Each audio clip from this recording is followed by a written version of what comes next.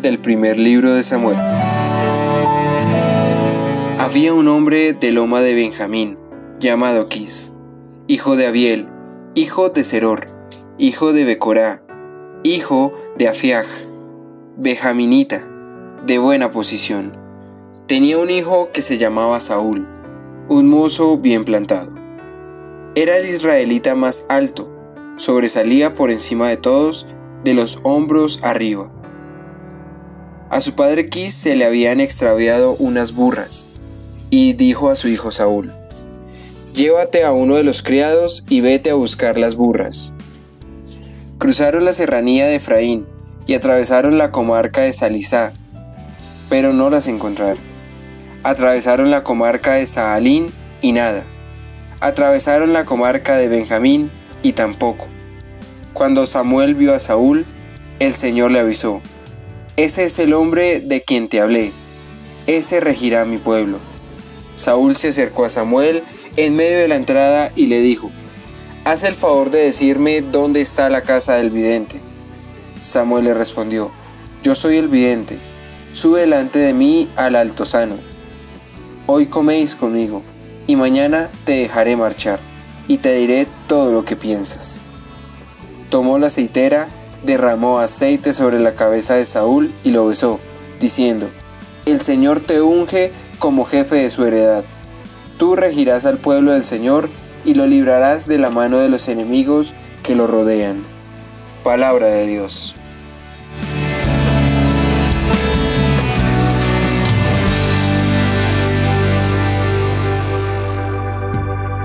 Señor, el Rey se alegra por tu fuerza.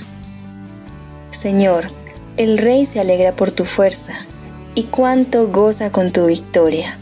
Le has concedido el deseo de su corazón, no le has negado lo que pedían sus labios. Señor, el Rey se alegra por tu fuerza. Te adelantaste a bendecirlo con el éxito, y has puesto en su cabeza una corona de oro fino. Te pidió vida y se la has concedido años que se prolongan sin término. Señor, el Rey se alegra por tu fuerza. Tu victoria ha engrandecido su fama. Lo has vestido de honor y majestad. Le concedes bendiciones incesantes. Lo colmas de gozo en tu presencia. Señor, el Rey se alegra por tu fuerza. El Señor esté con ustedes. Lectura del Santo Evangelio según San Marcos. Gloria a ti, Señor. En aquel tiempo, Jesús salió de nuevo a la orilla del lago. La gente acudía a él y les enseñaba. Al pasar, vio a Leví, el de Alfeo, sentado al mostrador de los impuestos, y le dijo, Sígueme.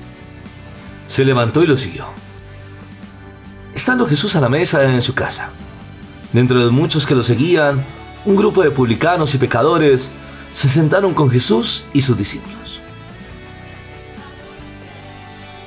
Algunos escribas y fariseos, al ver que comía con publicanos y pecadores, le dijeron a los discípulos, ¿De modo que come con publicanos y pecadores? Jesús lo oyó y le dijo, No necesitan médicos los sanos, sino los enfermos. No he venido a llamar a los justos, sino a los pecadores. Palabra del Señor. Gloria a ti, Señor Jesús. Vamos a pedir la luz del Espíritu Santo, para que así podamos vivir este regalo de la palabra. Espíritu de Dios, ven sobre nuestra vida para que podamos entender desde el corazón este regalo de la palabra que nos ayuda a comprender los designios de amor. Acompañados también del amor maternal de la Santísima Virgen María con todos los santos y ángeles de Dios. Amén. Mis queridos hermanos y hermanas, veremos en el Evangelio de San Marcos que nos sigue mostrando cuánta gente acudía para escuchar al Señor Jesús, ya que a través de la predicación invitará a tomar decisiones radicales. Así lo hará con Leví, ya que veremos que en el Evangelio de San Mateo, capítulo 9, verso 9 y siguientes, identifica a Leví como Mateo, que estaba sentado al mostrador de los impuestos. Ese oficio era muy odiado por los judíos, porque esos impuestos se recolectaban para una nación extranjera, que en esa época era el imperio romano. En pocas palabras, ser un recaudador de impuesto era ser un vendido, que era capaz de recibir beneficios sin importarle la vida a sus hermanos. Pero el Señor que conoce la realidad de Leví le invita a seguirle, sin pensarlo. Él se levanta y lo sigue. Esa es la actitud que nosotros debemos tener de seguir a Cristo, dejando la vida de pecado y llevar una vida de rectitud. Otra situación que se presenta es que se acercan muchas personas a Jesús, en especial un grupo de publicanos y pecadores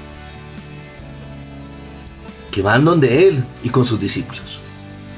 Esto no sienta bien para los escribas y los fariseos, porque son buenos para criticar, buscar el error, llegar a desprestigiar, a buscar el error para juzgar como si el mismo Señor no supiera quién eran ellos. El Señor le dirá a los escribas y fariseos que no viene por los sanos, sino por los enfermos. Ya que Él sabe escuchar el corazón. Toda persona que se acerca con un sincero corazón, Dios lo escucha. No he venido a llamar a los justos, sino a los pecadores. Ahora disponemos nuestro corazón para vivir este regalo de la oración.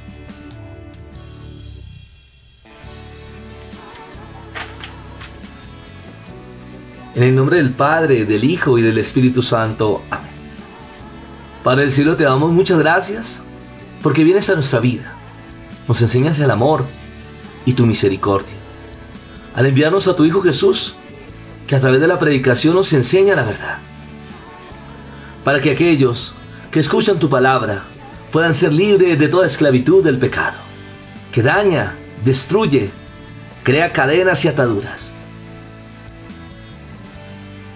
Y lleva a los vicios, como el alcohol, la drogadicción, la pornografía. Toda forma de individualismos que llegan a maltratar los principios y valores universales. Pedimos a la luz del Espíritu Santo para que transformes la vida de aquellos que se dejan engañar del diablo y los demonios, maltratando a sus hermanos, con leyes pesadas que explotan la vida del trabajador.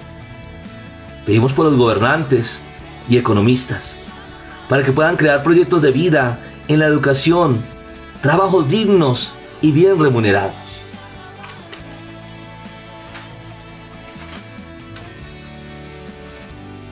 Que cuidan la familia, qué regalo de Dios que da al hombre y a la mujer desde ese amor a través del sacramento del matrimonio, para llevar con dignidad la vocación que ha sido llamados, el regalo de la vida que son los hijos. Oramos también por nuestros hermanos enfermos, que tienen ese momento difícil, esta enfermedad en su cuerpo. Reclamamos las promesas de 1 de Pedro 2.24 que por sus llagas hemos sido sanados. Hoy pedimos, Señor, en tu nombre precioso, escuchar las súplicas de estos hermanos nuestros, porque tú haces milagros, prodigios. Tu sangre preciosa restaura, tus llagas benditas. Hoy pedimos en tu nombre precioso por esos hermanos nuestros, como también aquella persona que perdió el sentido de su vida, que se dejó consumir en los vicios, en el alcohol, en la drogadicción, que se encuentra confundido, triste, cansado, agobiado. Hoy pedimos a la luz del Espíritu Santo que pueda descubrir esos regalos y bendiciones que tú das. Hoy nos unimos también a los que habitan en la calle, los que están en una cárcel, aquellas personas que por un momento difícil de su historia se sienten tentados a quitarse la vida. Hoy pedimos Señor, en tu nombre precioso, que lo imposible es posible para ti. Y que pedimos por estos hermanos nuestros, para que en tu amor y tu misericordia puedan ver este regalo de la bendición. el Señor esté con ustedes. Y la bendición de Dios Todopoderoso, Padre, Hijo y Espíritu Santo, descienda sobre ustedes y les acompañe siempre. Amén. Gracias por caminar conmigo en estas bendiciones de Dios, compartiendo con nuestros hermanos estas bendiciones para que juntos veamos la gloria de Dios. En mi canal YouTube, Padre y Franco, y transmitiéndolo a través de las redes sociales. Acompañados también del amor maternal de la Santísima Virgen María. Bendiciones del cielo.